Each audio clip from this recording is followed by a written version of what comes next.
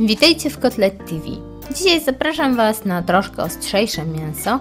Będzie to dokładniej danie z kuchni tajskiej. Jest rewelacyjne w smaku i możecie je przygotować zarówno na grillu, jak i w piekarniku. W oryginalnej wersji jest właśnie podawane z grilla, w dodatku nadziane na szaszłykowe patyczki. Zaczynam od przygotowania marynaty. Do miski wlewam mleczko kokosowe, dodaję kumin, a także trawę cytrynową. My wykorzystaliśmy suszoną trawę cytrynową, ale jeżeli macie świeżą, to tym lepiej. Następnie dodaję kurkumę,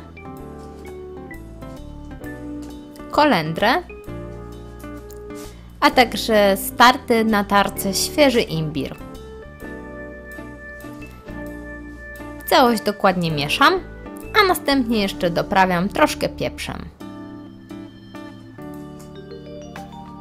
Mięso, najlepiej jeżeli to będzie mięso wieprzowe, chociaż możecie równie dobrze wykorzystać kurczaka czy wołowinę. Kroję na mniejsze części. Powinny być to takie paski.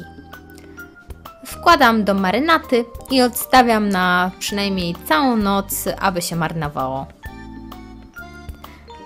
Takie zamarynowane mięso możecie potem nadziać na patyczki i ugrillować. Możecie równie dobrze rozłożyć na papierze do pieczenia i upiec w piekarniku. Do tego najlepiej pasuje sos z orzeszków. Życzę Wam smacznego, a po więcej przepisów zapraszam na stronę www.kotlet.tv.